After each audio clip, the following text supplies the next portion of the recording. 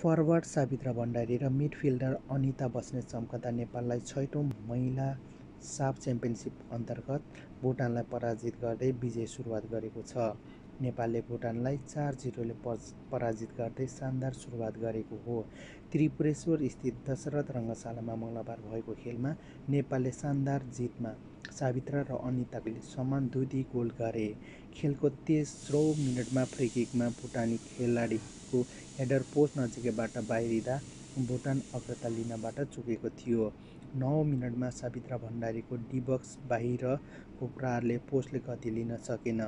एघारौँ मिनटमा हिरा कुमारीको भुजेलको बक्स बाहिरको सशक्त पार प्रहार पोलमा लागेर फर्कँदा नेपाल अग्रता लिनबाट चुक्यो। बाह्रौँ मिनटमा साबित्राले गोल गर्दै नेपाललाई सुरुवाती अग्रता दिलाइन्। गोलरक्षक सविता मोनगेरलाई अघि बढ्दै बललाई क्लियर गर्न खोजेको अवस्थामा अमिषासँग जुत्दै आएको बललाई सावित्राले खाली पोस्टमा गोल गर्न सफल भइन् बत्तिसौँ मिनटमा गोलरक्षक सविता मोनगेरबाट फुत्किएको बललाई सावित्राले नियन्त्रण लिँदै गरेको प्रहारलाई डिफेन्डरले क्लियर गरिदिइन् लगतै अनिता बस्नेतको प्रा क्रसमा सावित्राको हेडर दोस्रो बार च्याप्दै बाहिरिँदा नेपाल अग्रता दुबर पार्नबाट चुक्यो।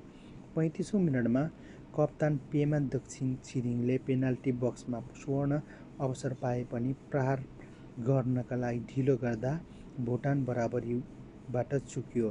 सडचालिसौँ मिनटमा सावित्राको पासमा दिपा साईको प्रहार पोस्ट नजिकैबाट बाहिरियो र छप्पन्नौ मिनटमा सावित्रा भण्डारीले एक्लैले बल अघि बढाउँदै पेनाल्टी बक्समा रेखा कुमारी पौडेललाई दिएको पासलाई भुटानी डिफेन्डरले क्लियर गरिदिए। चौसठी मिनटमा अनिता बस्नेत एकल प्रयासमा गरेको प्रहार दोस्रो बार च्याप्दै थोरै बाहिरियो। अडसठौँ मिनटमा सावित्राले व्यक्तिगत र टोलीको लागि दोस्रो गोल गर्दै नेपालले दुई जिरोले अग्रता दिलाए। दोस्रो हातको सुरुमै अमिषा कार्कीको स्थानमा मैदान छिरेकी रेखा कुमारीको चलाखीपूर्ण पासलाई सावित्राले वान भर्सेस वान स्थितिमा सहज फिनिस गरिन्। यससँगै सावित्रा भुटानको भुटान विरुद्ध चौथो खेलमा लगातार गोल गर्न सफल भइन्। उनले यसअघि तेस्रो चौथो पाँचौँ साफ गेममा गोल गर्न सफल भएकी थिइन्।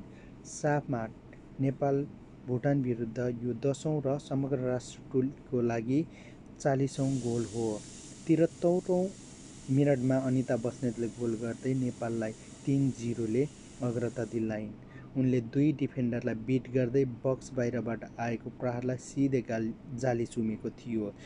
पचासीौँ मिनटमा अनिता बस्नेतले व्यक्तिको दोस्रो तथा टोलीका लागि चौथो गोल गर्दै नेपाललाई शानदार जित दिलाए। अनिता केसीको क्रसमा भुटानी गोलरक्षक पञ्च बाहिर फालेको बललाई अनिताले नियन्त्रण लिँदै गोल गर्न सफल भइन्। यस जितसँगै नेपाल समूह एकको तिन अङ्क जोडेको छ र नेपालले अब भदौ सत्ताइस गते श्रीलङ्काको सामना गर्दैछ। भोलि प्रतियोगिताको समूह बिमा दुईवटा खेल हुनेछन्। पहिलो खेल भारत पाकिस्तान दिउँसो एक बजे खेल्नेछ। दोस्रो खेलमा साँझ पाँच तिस बजे बङ्गलादेश र मालदिप्स प्रतिस्पर्धा गर्नेछन्।